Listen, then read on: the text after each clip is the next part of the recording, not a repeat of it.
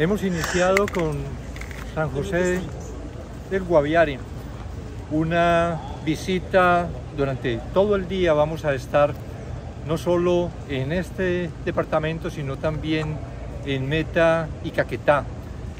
Uno de los propósitos, ver frente a la suspensión del cese, que llevamos eh, una semana prácticamente de, del decreto del 24 de mayo que ordenó la suspensión del cese al fuego,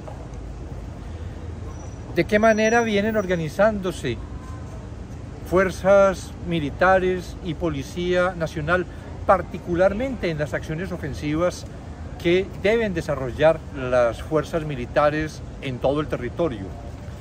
Hemos escuchado al gobernador del departamento, al alcalde de la capital, al alcalde del retorno, hemos escuchado de ellos cómo fue, cómo se produjo un proceso de deterioro en la seguridad para la población. Y con base en sus conocimientos, en sus experiencias, en las realidades que igualmente compartidas con los mandos del ejército, de las fuerzas militares y de la policía en el territorio, nos señalan de qué manera tiene que reactivarse con mucha contundencia las operaciones ofensivas como es la orden que el presidente de la República, expedido este decreto el 24 de mayo, ha dado.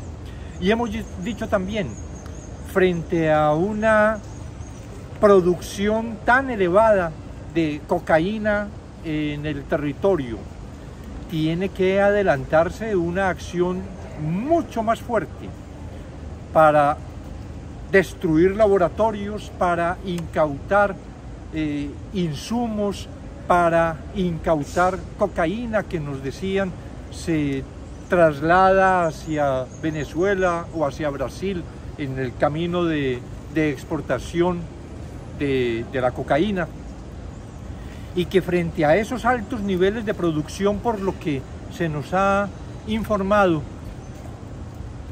las acciones de incautación tanto de la policía como de las fuerzas militares tiene que ser también muy elevada. Es decir, tienen que multiplicar por 300, por 500 los resultados que hasta ahora se, han obtenido en el departamento. Hay un problema creciente también, como lo hemos reconocido, no solo respecto del Guaviare, sino de Meta y de, y de Caquetá y de Putumayo, vinculado con el incremento de las extorsiones. Revisamos el punto, dijimos que no es por la cantidad de denuncias que se formulen eh, ante la Fiscalía, lo que vamos a determinar cuál es la, magnitud del problema, sino por lo que la población ha venido padeciendo en, este, en esta actividad delictiva específica, se va a incrementar en labores de, de inteligencia, que es una de las necesidades para afectar sensiblemente este delito de extorsiones, pero igualmente la Policía Nacional va a incrementar en la presencia del, Gaula. Lo que se requiere es que haya una tranquilidad real para la población, que este fenómeno delictivo que tanto afecta y atemoriza a la población como es la extorsión se controle, se haya resultados realmente importantes. Que no solo, como ha ocurrido en materia de homicidios, que se ha producido una reducción que está por encima del promedio nacional, no solo respecto de homicidios, sino también respecto de extorsiones haya una reducción absoluta.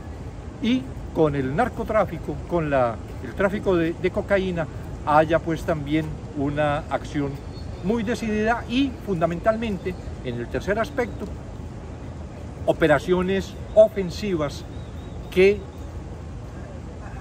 permitan el control legal del territorio, porque por lo que hemos visto de presencias en veredas, inclusive en escuelas, del reclutamiento de menores que viene haciendo esa organización en este territorio. Solo una acción decidida de la fuerza pública puede frenar esta actividad que desarrolla el Estado Mayor Central. Ministro, ¿en, qué términos queda el cese al fuego, em, teniendo en cuenta, por ejemplo, que Danilo Rodea, el comisionado de paz, había dicho que las negociaciones o las conversaciones iban bien, pero justamente el Estado Mayor Central de las FARC prácticamente que lo desmintió. ¿En qué términos queda ese cese al fuego? No hay ninguna restricción para la fuerza pública. El gobierno planteó, lo dispuso pues en, el decreto, la suspensión del cese respecto de los cuatro departamentos que aparecen indicados en el, en el decreto, área de operaciones del Estado Mayor Central.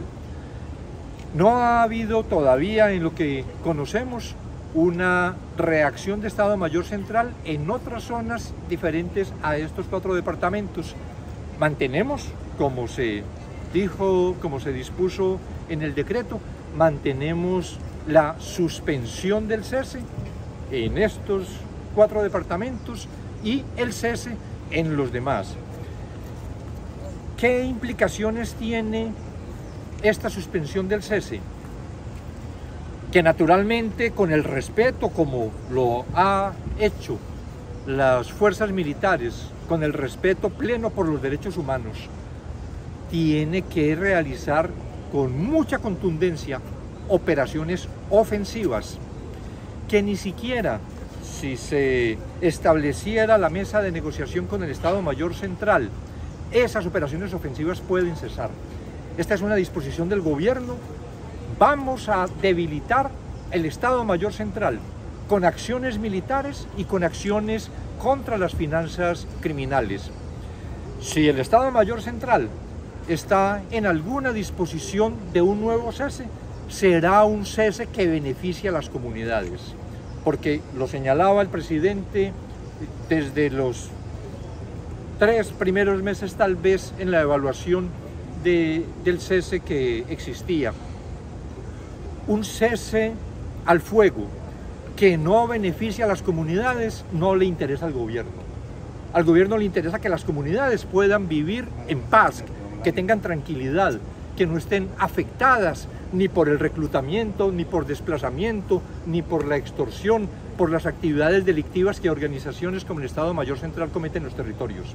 De manera que, si esa es la respuesta del Estado Mayor Central, de aceptar un cese que sea de hostilidades, no solo en la confrontación con las fuerzas militares, sino un cese de hostilidades que beneficie a las comunidades el gobierno está en disposición de discutir un cese de esas características. Ministro, al día de ayer eh, un grupo de desminadores del ejército eh, son bajados del camión, les queman el camión, les roban los equipos, aparentemente las disidencias de las FARC.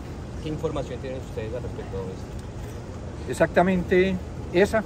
Eh, precisamente el Ejército Nacional expidió el, día de ayer un comunicado en el que no solo se refiere al, hecho, sino en circunstancias, como que tratándose de, en la, brigada de, de desminado humanitario, estos son hombres que no están armados, porque lo que tienen por propósito es precisamente destruir, ubicar y destruir las minas que afectan también, no solo es en el tema de la guerra para afectar a la fuerza pública, a lo que afecta es a las comunidades. Lo que hemos visto en muchos territorios en el país, de hombres y mujeres, niños mutilados por una práctica tan criminal como esta de sembrar un territorio de minas. Entonces llega del batallón de desminado humanitario, de la brigada de desminado, llegan a realizar operaciones que lo que significa es mejorar condiciones de la vida material cotidiana de las comunidades. Y un grupo como las disidencias los atacan, les quitan las herramientas para desminar. ¿Qué es lo que habría que decir respecto de un grupo criminal de esa naturaleza? Que está impidiendo que se generen mejores condiciones para la población, que está entonces bloqueando esa actividad del ejército, lo que está conduciendo finalmente es a que la población civil, hombres, mujeres, niños, niñas, caigan en esas minas y sufran las consecuencias. Vamos a continuar naturalmente porque esta es una decisión también de gobierno, de fuerzas militares. Vamos a continuar con las prácticas de desminado. Estamos para definir de, territorios porque son muchos los que se han producido, por ejemplo, en, en Nariño, en Cauca, de extensas zonas que están minadas. Tenemos que continuar porque el compromiso de las fuerzas militares es generar mejores condiciones de vida para la población. Ministro, para Globo TV en Brasil, eh, la situación de los niños en la búsqueda y si todo este problema de seguridad tiene que ver con encontrarlos a ellos. No, no creo que haya una relación entre seguridad y, la operación Esperanza. Aquí estamos en un acto que además destacamos lo que viene haciendo el, el SECOES, lo que viene haciendo el, general Sánchez eh, al, frente de toda la operación, la cantidad de eh, personas que desde fuerzas militares están vinculadas a la operación, la colaboración que hemos tenido de comunidades indígenas en un acto que es de simple humanidad, en lo que no hay relación con, temas de seguridad eh, que afortunadamente han podido venir desarrollando esa búsqueda en, en, condiciones, pues naturalmente las condiciones siempre inclementes de la selva, pero digo en condiciones de tranquilidad, de no confrontación eh, en, ese territorio. Esperamos que muy pronto tengamos resultados, siempre hemos visto ya por los informes que han suministrado eh, dentro de esta Operación Esperanza, que indicios que se van encontrando y los últimos que no son tan antiguos que revelan la, que estos menores se encuentran con vida que es la esperanza que tenemos. Operación Esperanza es una operación de esperanza, de esperanza para lograr el resultado finalmente de recuperar a estos menores. De manera que, digo, eh, ojalá muy pronto se, se logre concluir con éxito esta operación que ha demandado recursos y esfuerzos muy grandes de parte de las fuerzas militares, pero en lo que no hemos escatimado ni un poco de los recursos para eh, desarrollar con éxito esta operación. Ministro, en este momento se habla de dos carros, carros son abandonados en la trocha de la ganadera. ¿No son los campesinos que posiblemente esos carros pueden tener explosivos? Eh, no tengo en este momento conocimiento, pero de estar pues estos carros abandonados, naturalmente que la fuerza pública debe proceder a la identificación y a la neutralización si efectivamente están eh, con explosivos. Ministro, Ministro hay, hay, dos tipos de las Carolina Ramírez, alias Jimmy, alias Martín, que están en el corregimiento del Boquerón y en el sector de Guacamayas, intimidando, amelantando a los campesinos. ¿Qué le podemos decir a esos campesinos que piden el apoyo de la fuerza pública? Que la fuerza pública va a sacar a estos que están afectando su tranquilidad de ese territorio. Que precisamente en regiones como estas mencionadas, en veredas en las que están afectando la, convivencia, la tranquilidad de las comunidades, la fuerza pública y ahora con una eh, reiteración de la orden que desde los mandos superiores del ejército se ha dado a los mandos territoriales.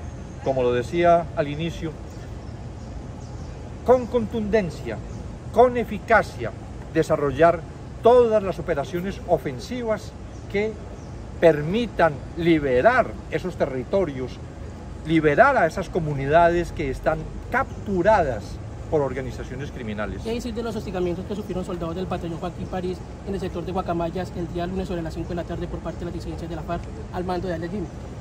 Pues en todo esto naturalmente hay una confrontación y lo que yo insisto es en que en todo caso las fuerzas militares tienen que desarrollar con toda su capacidad las operaciones para contrarrestar las acciones de los criminales.